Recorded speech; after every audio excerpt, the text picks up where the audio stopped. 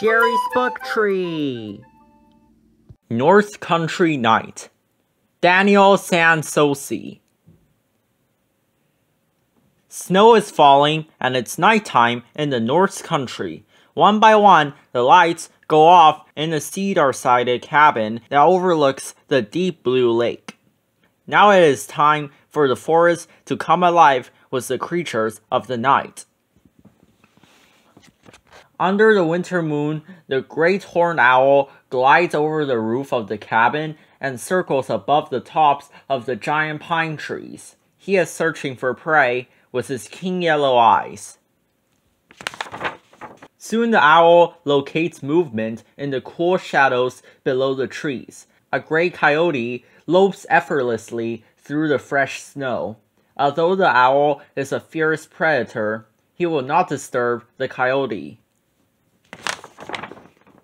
At the edge of the timber, the coyote finds the tracks of a red fox.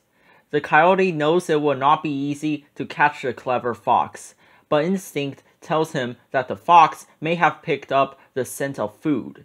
So he decides to follow the trail. The little fox is not looking for food though. He is seeking out a woodchuck's burrow to take over for the bitter days ahead.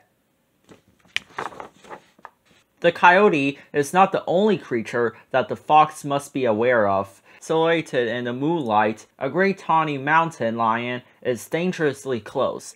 But the powerful cat is preoccupied with the tracks of another animal that he is stalking. The fox is safe for now. The mountain lion continues stalking his prey through the dense woodland. Once the cat is at a safe distance, a porcupine lumbers into the clearing and up to a fallen fir tree. With quills loosely attached to his skin, this small mammal will claim the hollow arch in the tree as his den. After removing the last bit of snow from the entrance to his den, the porcupine crawls inside. He will stay there until the snow stops falling, not far away, a cottontail rabbit sits under a cedar tree, munching on twigs and leaves that have not been covered by the snow. Food is scarce, and the rabbit has made a lucky find. Once the cottontail has had his fill of food, he hops along the timberline on his way to the stream. As he starts down the embankment to the water, he senses danger and stands frozen.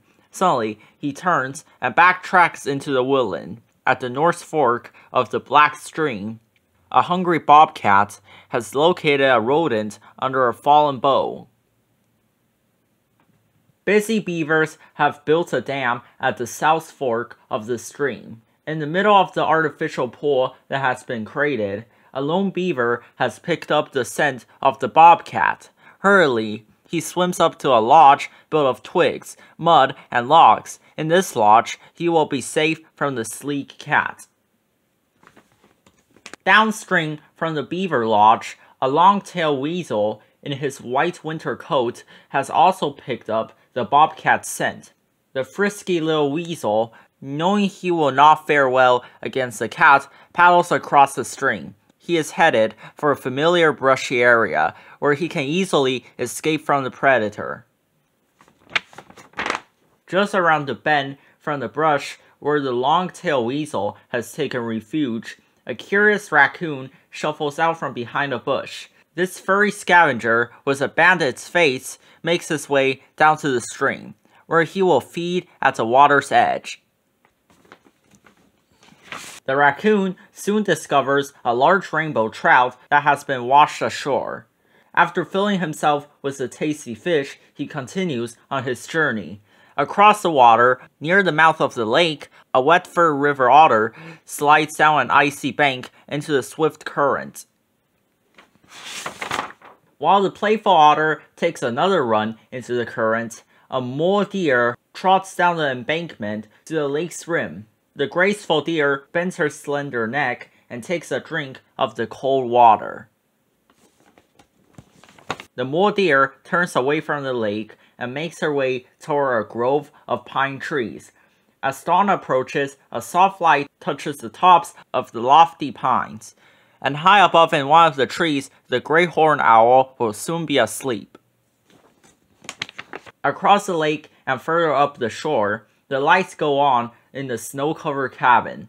In a few hours, the sun will rise and chimney smoke from the breakfast hearth will signal the end of another North Country night. Thanks for watching!